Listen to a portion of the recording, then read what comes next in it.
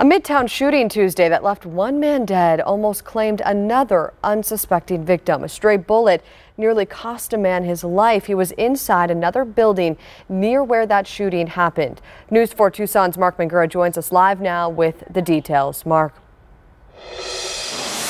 Yeah, Amanda, imagine laying in your gunshots right outside your window. That's exactly what happened on Tuesday to Brian Carlson. And one of those stray bullets made it right into his bedroom.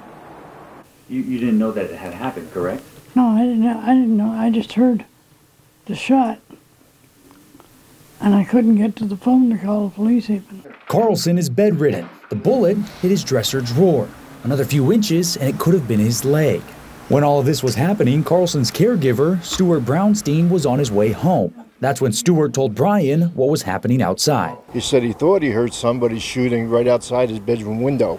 When the bullet came through the wall, his caretaker says he didn't even know what had happened until hours later. Had he chosen to lay on the other side of the bed and gotten hit without being able to move, the results could have been deadly. I was scared for him, and you know, there's really not much I could have done about it. I mean, I'm just glad that he wasn't hurt. Carlson has been here for six years and says he prays every day. He believes his faith has kept him safe.